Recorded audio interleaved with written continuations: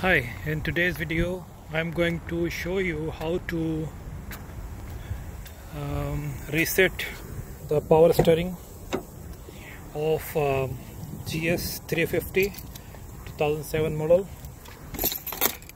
Uh, actually my uh, power steering um, is making issue every time I switch on my uh, car like um, ignition uh, I show you.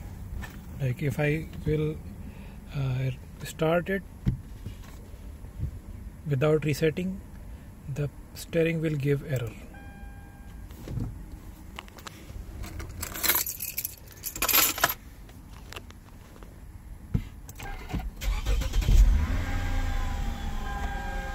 Now here you can see this power steering error PS so this is what happens so if I will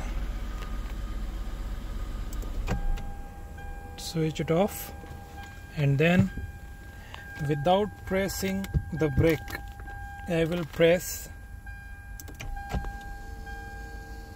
two times. Then one two.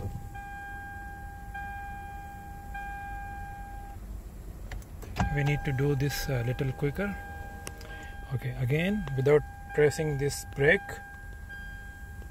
One two. Now one two. Here you can see power steering error is gone now. Our power steering is reset.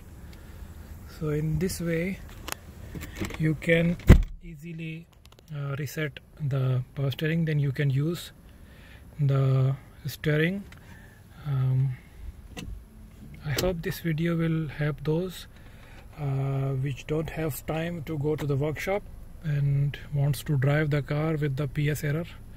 So just reset it and then start driving again